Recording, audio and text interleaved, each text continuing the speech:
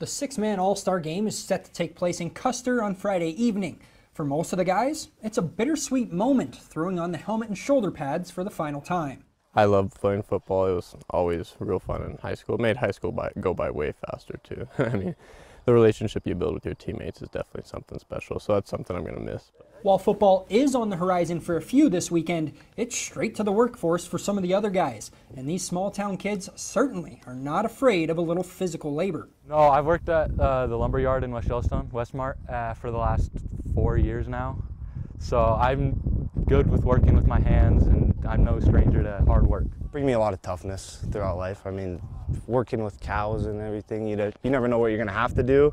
So like, just be always being on your toes, always ready to do whatever you need to do. That's what has helped me. It's taught me hard work and lots of valuable lessons to bring through life. Uh, persevere through things that may seem difficult, but you can do it.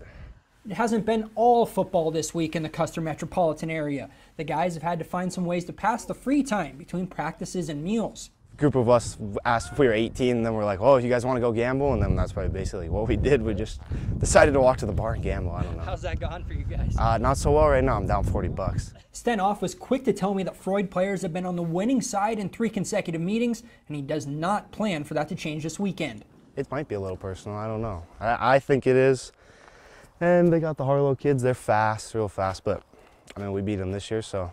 The 28th annual six man All Star game will take place Friday night under the lights in Custer at 7 p.m. For MTN Sports, I'm Alec Boffinger.